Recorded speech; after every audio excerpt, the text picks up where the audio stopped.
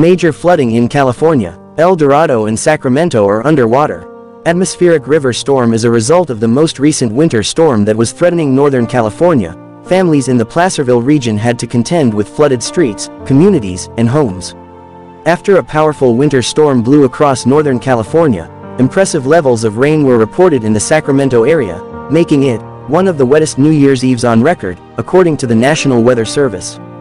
The 24-hour period ending at 7 a.m. on Sunday saw 2.79 inches of rain fall in downtown Sacramento, 2.12 inches at Sacramento Executive Airport, and 1.89 inches at Sacramento International Airport,